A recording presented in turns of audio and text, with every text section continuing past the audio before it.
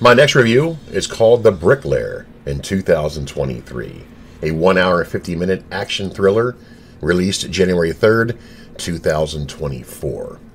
An ex CIA agent is reactivated when an extortionist targets the agency.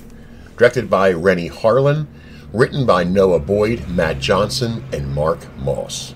Here's the cast Aaron Eckhart as Steve Vale, Nina Dobrev as Kate Bannon, Clifton Collins Jr. as Victor Raddick, Tim Blake Nelson as CIA Director O'Malley, and the cast goes on.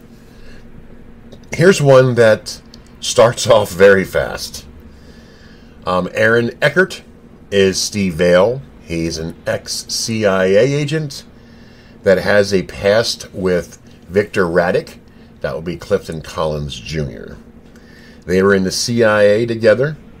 They were told to do things that wasn't very um, nice or, or, you know, legal. So Victor Raddick was told to do something, so they chose to just fake his death so Victor can go on his merry way and get out of this type of life.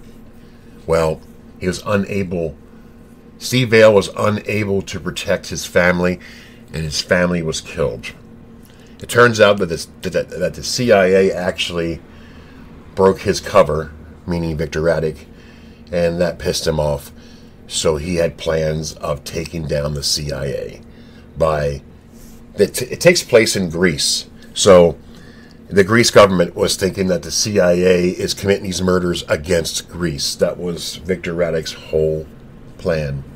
But there's a mole that was in this also. So they hired retired Steve Vale, who's an actual bricklayer, to go to Greece with Kate Bannon to investigate and find Richard, Victor Raddick.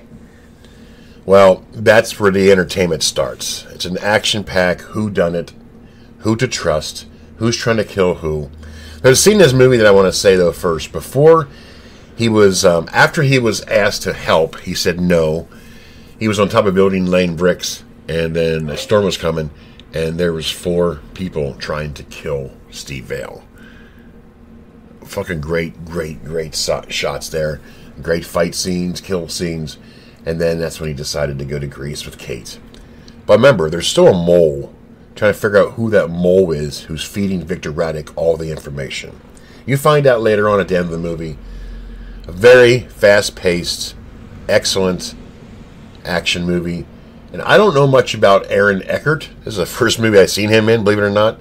Because I, I watch horror movies. And he did a damn good job in this movie. Um, that being said, it's a battle and a fight all the way to the very end. You find out who the mole is, and you find out a lot more. There's more to this movie than I'm saying, so definitely check it out. It's well worth a watch. The Bricklayer in 2023. This is Gruesome Hertzogg. I give this film an 8 out of 10. Fantastic action movie that keeps you on your toes the whole way through. That being said, this is Gruesome Hertzogg, and I'm out of here.